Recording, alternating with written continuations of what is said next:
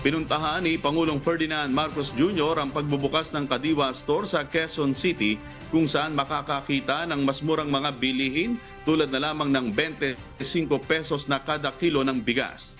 Ayon kay Pangulong Marcos Jr., nais niya na palawigin pa ang karaban na ito ng kanyang administrasyon.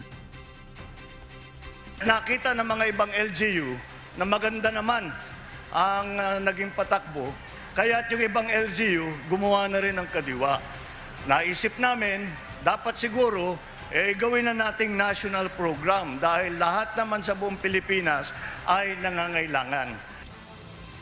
Dagdag pa ni PBBM, palapit ng palapit ang pinapangarap niya na presyo ng bigas na 20 pesos per kilo.